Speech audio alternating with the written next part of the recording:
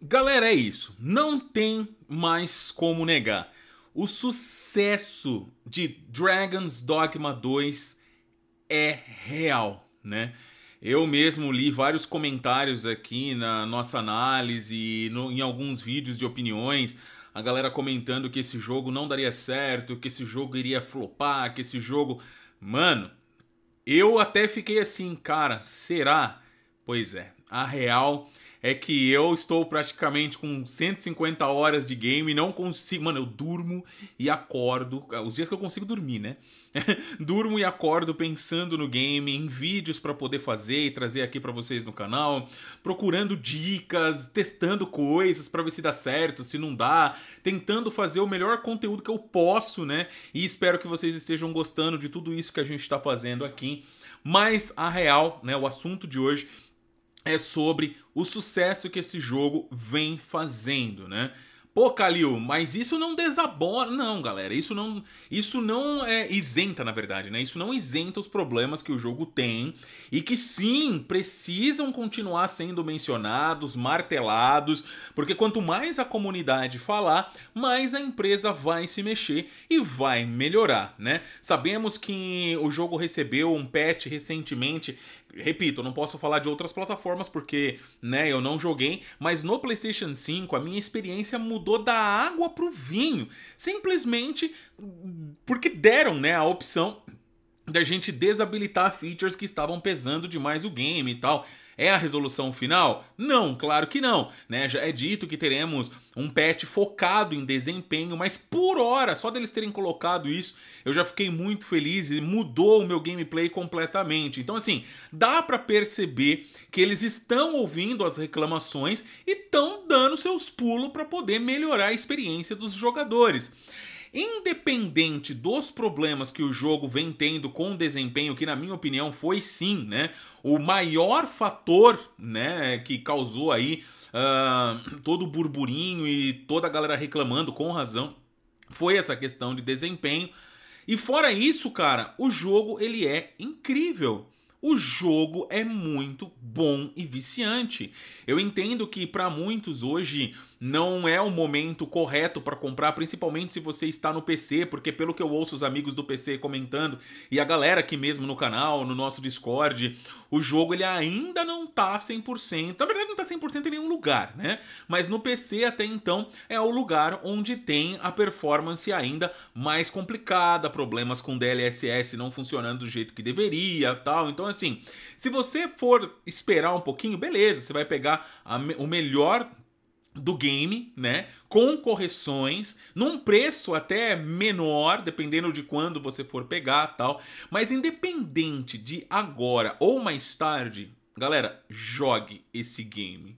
Porque ele realmente é incrível. Eu tô zerando pela segunda vez e ainda vou jogar mais um NG+, podendo até se estender para outros NG+, se o jogo tiver. Eu não zerei o NG+, ainda para saber, na verdade, não, nem fiz direito um NG+, para saber se depois dele tem o NG mais 2, NG mais 3, não sei como é que isso funciona aqui nesse game, mas a real é que a gente ainda vai jogar muito. Bom, Tô falando de muitas coisas aqui pessoais, mas e a notícia eu preciso dar, né? Galera, seguinte, como vocês estão vendo aqui nesse comunicado que foi feito hoje, Dragon's Dogma 2 atingiu 2,5 milhões de unidades. As vendas acumuladas da série Dragon's Dogma agora excedem 10 milhões, se for de, é, somar, né, com o, o primeiro game e tal. Só esse novo jogo, mesmo sendo super nichado, mesmo sendo um game que, querendo ou não, né, nos, for, nos forçou até fazer um vídeo de será que é para você ou não, pelas suas diferenças únicas, né? Mesmo assim, mesmo com os problemas de desempenho, mesmo com muita gente papagaio falando muita desinformação na internet, o jogo ainda em 11 dias vendeu 2,5 milhões de unidades.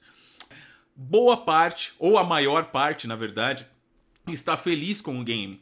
está jogando, está curtindo, não consegue parar, entendeu? E isso é maravilhoso. O que não é maravilhoso são os problemas que eles já prometeram que vão continuar, né, fazendo as melhorias e tal. Mas a real, mano, que tem muita gente jogando e curtindo, ó.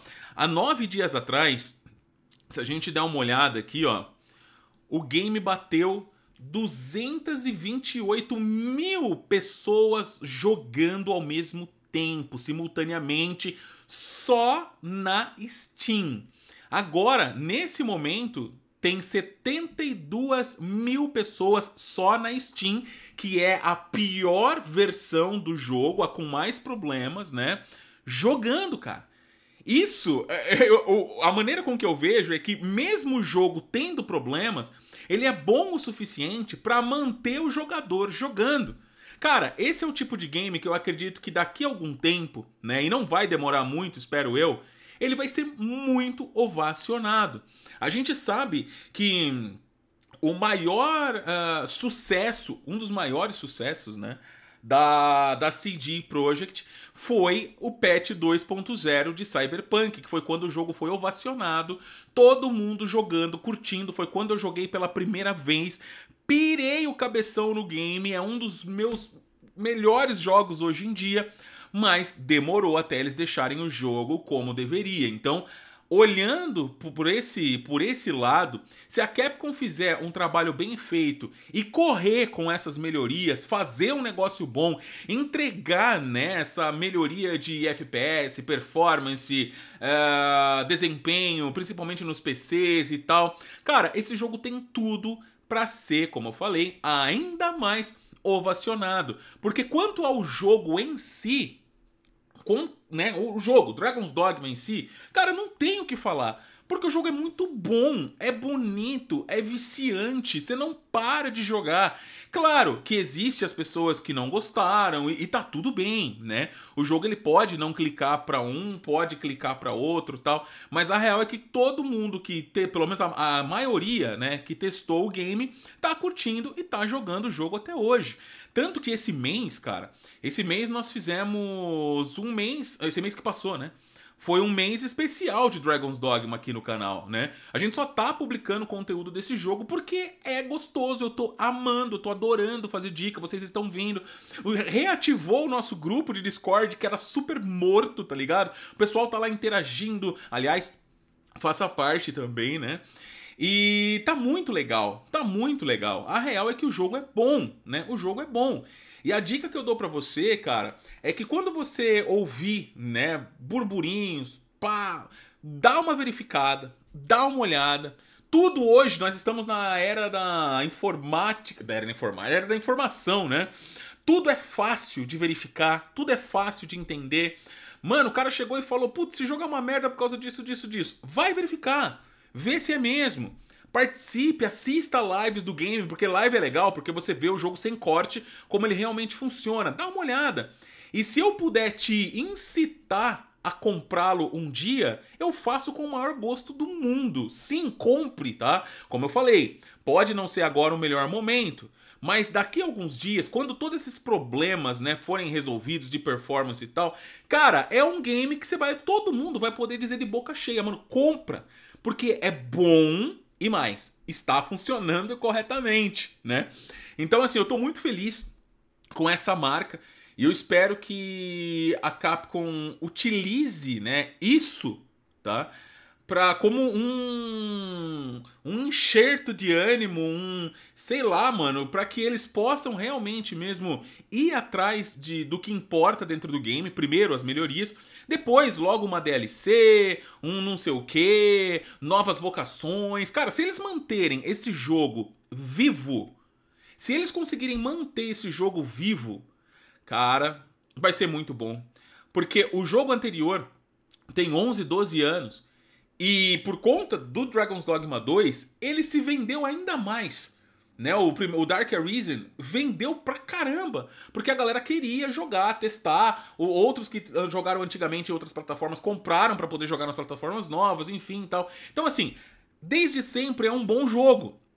Se eles souberem alimentar isso como se deve, colocando aí uh, mais variações, talvez, de monstros em lugares diferentes, mudando né, os momentos, lugares que eles aparecem, colocando um mapa novo, adicionando DLC, vocações novas. Cara, é um jogo que eu vou jogar pra vida. Eu, Kalil, saca? Eu vou jogar pra vida. Eu adorei isso aqui, cara. Eu pirei nisso aqui. O jogo é muito bom. Então, assim, eu queria compartilhar com vocês, né? É uma vitória da Capcom, sim.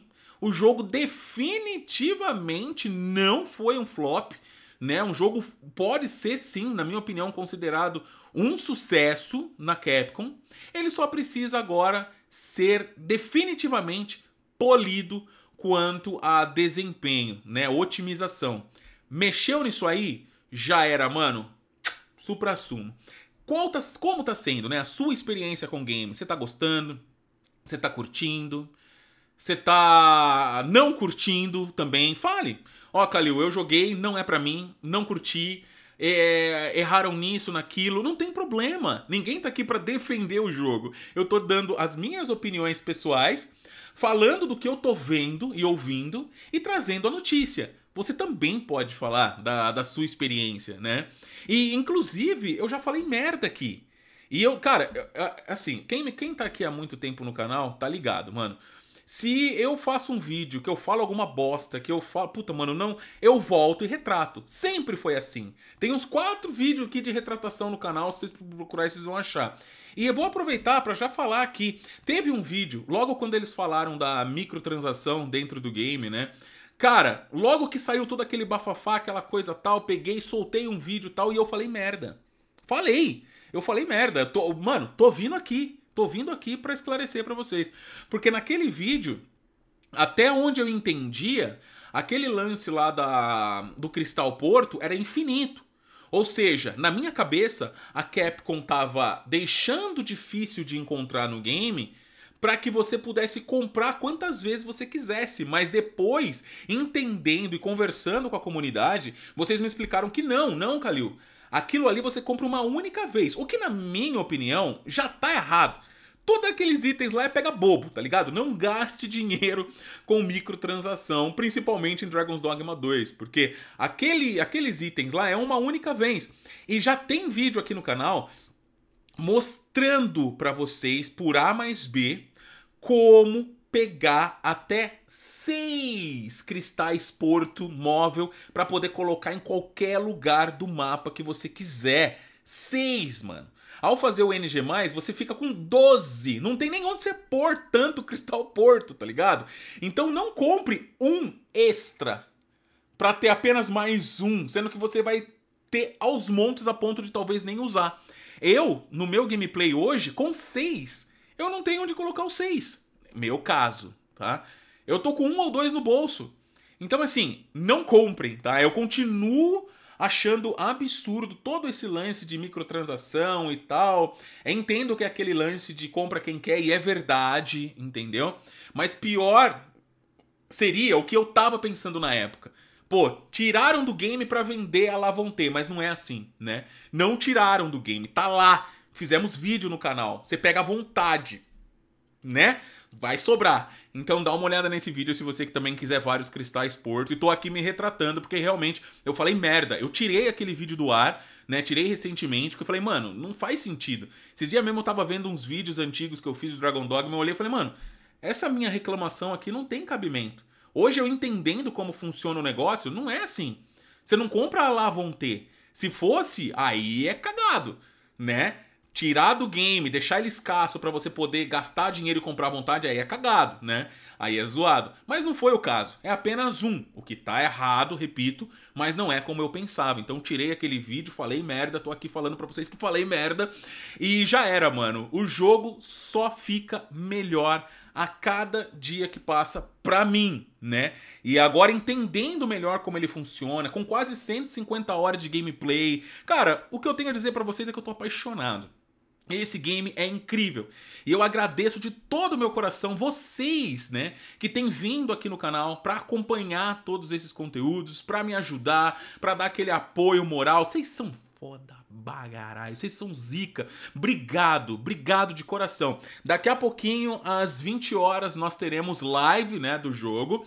E eu quero vocês lá também. Se possível, se você tiver de boa, cola que é só alegria. Então, assim, em resumo, qual o recado que eu quero dar nesse vídeo? O jogo é muito bom, tá?